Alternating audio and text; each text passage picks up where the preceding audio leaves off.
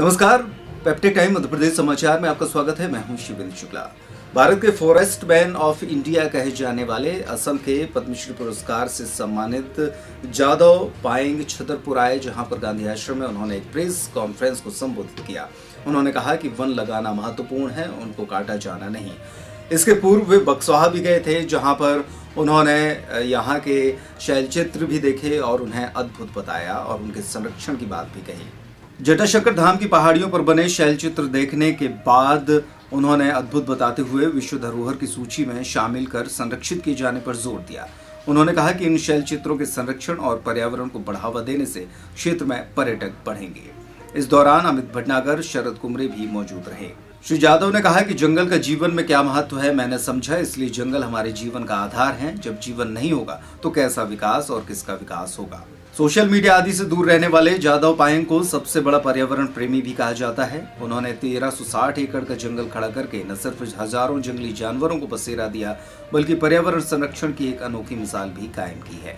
आप लोग के बक्सवा में जो हीरा खनन कच्चा लगाया, ये हीरा खनन कच्चा पेड़ मत कच्चिए पेड़ काटते ऑक्सीजन नहीं तो हीरा खनन से क्या करेगा?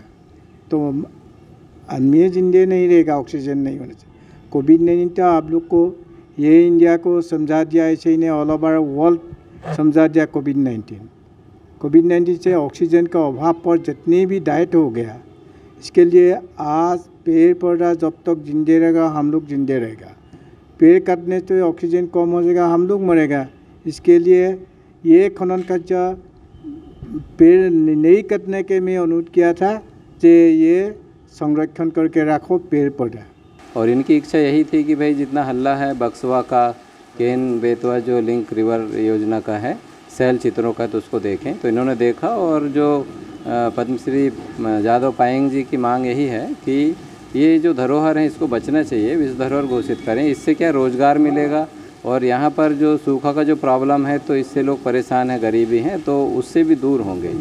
हाँ गाँव के लोगों से मिले हैं, सब लोगों से बातचीत की है इन्होंने। दो दिवसीय दौरा वहीं गाँव के बीच में थे ये लोगों के बीच में, और बहुत बड़ी बहुत सारे लोगों से ये मिले हैं, और अभी इसके बाद भी ये वहीं पर जाने वाले हैं, और इनके गाँव में भी कार्यक्रम लगातार लग रहे हैं, लोगों के बीच में जा रहे हैं, और लोगों के जीवन स्तर अच्छा हो, पर्यावरण के साथ उनका गहरा रिश्ता हो, और लोग पर्यावरण को जो है, अपने जीवन का और उसके प्रति जागरूकता बढ़े ये इनका और हमारे संगठन का कर्तव्य है।